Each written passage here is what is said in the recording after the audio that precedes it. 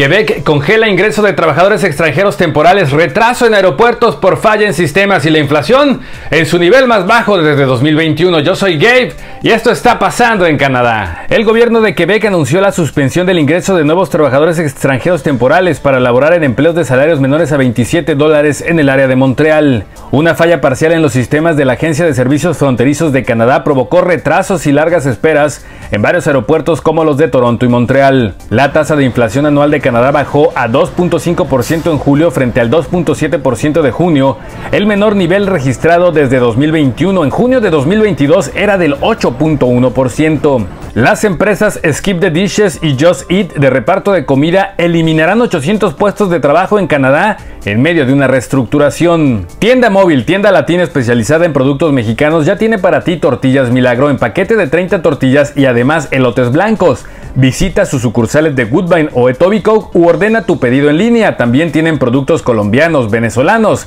salvadoreños, brasileños y peruanos. En Toronto, tras una persecución que terminó en el choque de un auto con un streetcar en Regent Park, la policía detuvo a tres personas, entre ellas a una joven de 17 años por posesión de un fusil de asalto. La selección masculina de fútbol de Canadá jugará un partido amistoso contra Panamá en el BMO Field de Toronto durante la próxima fecha FIFA el 15 de octubre. Y cerramos con este video de Doña Clemen de un zorrillo travieso en Toronto. Si tienes un video, compártelo con The Bridge.